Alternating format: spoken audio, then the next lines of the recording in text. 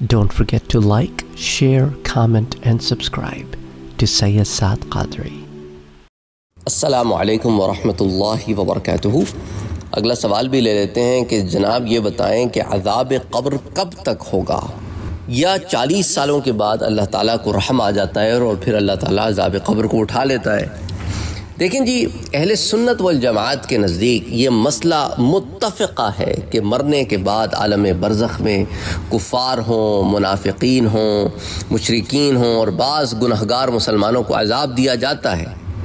قرآن و حدیث اور تمام کتب کلام میں عذاب قبر کا ثبوت سراحتاً ملتا ہے، اس پر میں آپ کو بڑی تفصیل سے پہلے دروس دے چکا ہوں۔ اسی طرح ہر شخص سے مرنے کے بعد تین سوالات ہوتے ہیں۔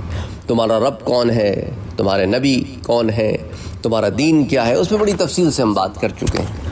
ہر ایک کو ان کا جواب دینا ہوتا ہے۔ جواب نہ دینے یا غلط دینے کی صورت میں پھر قبر میں عذاب ہوتا ہے۔ اسی طرح وہ لوگ جو مسلمان ہوتے ہیں، انہیں پھر قبر کا عذاب مختلف صورتوں میں یوں بھی ہو سکتا ہے کہ وہ معاملے جن میں قبر میں پکڑ ہوتی ہے، پھر ان کو ان معاملات میں عذاب ہو سکتا ہے۔ تو اب حضور صلی اللہ علیہ وآلہ وسلم نے ہمیں تعلیم دی ہے کہ عذاب قبر سے اللہ کی پناہ مانگو۔ اور آپ نے خود بھی مانگی اور صحابہ کرام کو بھی اس کی تعلیم دی۔ باقی رہی یہ بات کہ کس کس قسم کا عذاب ہوتا ہے، تو اس کے متعلق اتنا سمجھ لیں کہ کافر اور منافق منافق جو ہوتا ہے، اس کا عذاب تو بہت سخت ہوتا ہے اور قیامت تک جاری رہے گا۔ اور بعض گناہ گار مسلمانوں کا عذاب جو ہے، وہ گناہوں کے لحاظ سے مختلف ہوتا ہے۔ کیونکہ دیکھیں سزا جو ہے وہ جرم کی نوعیت کے مطابق ہوتی ہے۔ لیکن کافروں کے عذاب سے گناہ گار مومنین کا عذاب بہرحال ہلکا بھی ہوتا ہے، آسان بھی ہوتا ہے۔ اس میں تخفیف بھی ہو سکتی ہے، وہ اٹھایا بھی جا سکتا ہے۔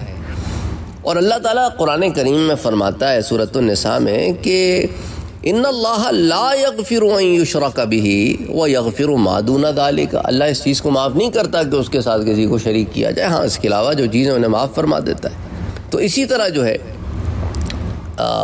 کہنے کا مقصد یہ ہے کہ جو مومنین مسلمان ہیں، گنہگار مسلمان ہیں، ان کو عذاب قبر ہوتا ہے اور اس کی نوعیت مختلف ہوتی ہے جرم کے حساب سے اور وہ تا قیامت ہوتا رہے گا، اس کے اوپر سراحت نہیں ہے۔ ہو سکتا ہے، نہیں بھی ہو سکتا۔ ہو سکتا ہے کہ کچھ ان کے جو پیچھے رہ گئے لوگ، ان کی دعاؤں کی وجہ سے انہیں بخش دیا جائے۔ یا اللہ کو رحم آ جائے اور انہیں اللہ بخش دے۔ کوئی سال ثواب کا معاملہ ہو جائے، وہ بخش دیے جائے کوئی صورت ہو سکتی ہے، لوگوں کی دعاؤں سے بخشے جائیں۔ یا ویسی اللہ تعالیٰ ان پہ رحم فرما کے انہیں بخش دے۔ صورتیں ہو سکتی ہیں۔ تو اسی لیے عذاب قبر کب تک ہوگا، اس کے اندر میں نے آپ کو بتا دیا کہ کیا مختلف فی چیزیں ہیں۔ اگین عذاب قبر سے ہم نے پناہ مانگنی ہے، اپنی نمازوں میں۔ آپ کو پچھلے درس میں ہی بتایا تھا کہ فجر کی نماز کے بعد کیا عمل کرنا ہے اور عصر کی نماز کے بعد کیا عمل کرنا ہے۔ اور اسی طرح جو ہے صورت الملک کی آپ روز رات کو تلاوت کر لیا کریں۔ زیادہ ٹائم نہیں لگے گا آپ کا۔ ایک دفعہ آپ کو روانی آ جائے نا، مشکل سے پانچ منٹ لگیں گے آپ کے۔ لیکن وہی ہے کہ شیطان جو ہے وہ کرنے نہیں دیتا شروع میں۔ لیکن ایک دفعہ عادت ہو جاتی ہے تو وہ کیے بغیر نیند نہیں آتی۔ تو زیادہ وقت نہیں لگے گا آپ کا۔ چھوٹے چھوٹے عمل ہیں ان کو اپنے معمولات میں شامل کریں۔ انشاءاللہ تعالی فائدہ ہوگا۔ اس دنیا میں بھی اور بعد والی دنیاؤں میں بھی۔